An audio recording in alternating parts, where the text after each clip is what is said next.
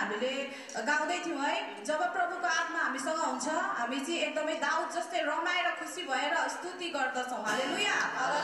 त्यस्तै गरेर आज हामी फेरि पनि यो ठाउँमा भेला भएको छौँ कारण एउटै हाम्रो राजा हाम्रो परमेश्वरलाई उचाल्नको निम्ति अनि हामी सबै एउटै मनको भएर फेरि पनि हामी परमेश्वरलाई उहाँको आत्मामा भएर हामी उचाल्नेछौँ। हालेलुया।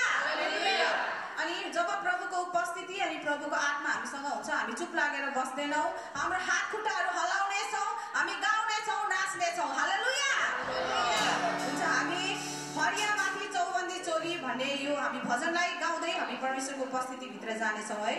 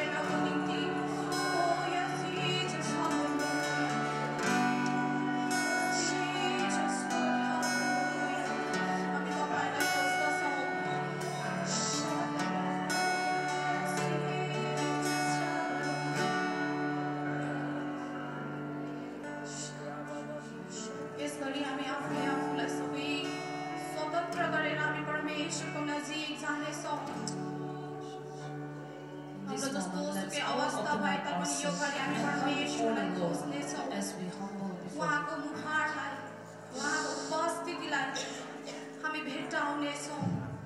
Let's go into His presence and let's seek His face. Because there is no one like Him. loves us. हामी सबै मानव जातिलाई वास्ता गर्नुहुने परमेश्वर उहाँ मात्रै हुनुहुन्छ because he loves us so much. उहाँको उपस्थितिलाई हामी खोजी गर्नेछौँ यो घडी उहाँको. आत्माले हामीलाई छुनु सकोस्। ओ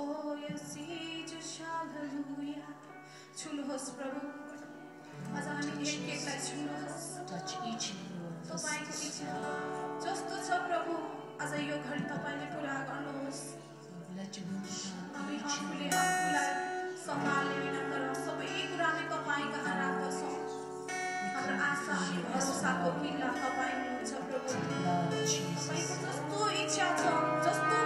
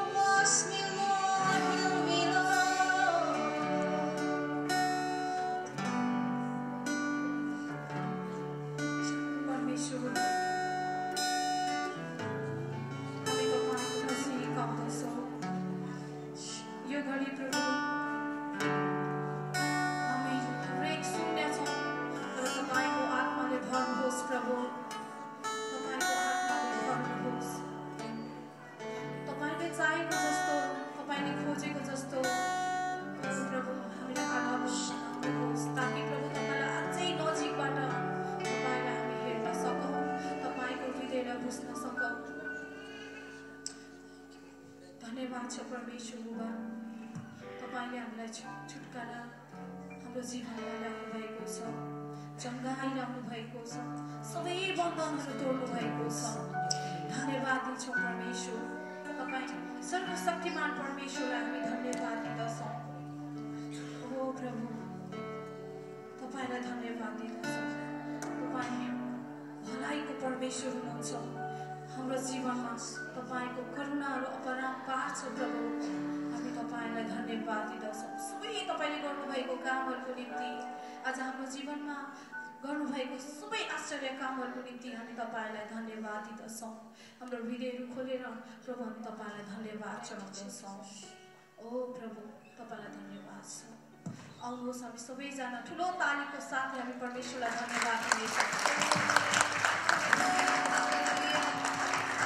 धन्यवाद छ हाम्रो आराधनामा आउनुभयो। हामी हरेकलाई छुनुभयो। अनि प्रभु तपाईँ परमेश्वरले साँच्चै नै हाम्रो आराधनाको सिंहासनमा तपाईँ विराजमान हुनुभयो। हामी विश्वास गर्दछौँ। धन्यवाद छ प्रभु। सबै कुरा प्रभु हामी तपाईँको हातमा राख्दै हामी आशिषलाई माग्दछौँ प्रभु यीशुको नाममा। आमेन। छ फेरि पनि सबैलाई जय मसी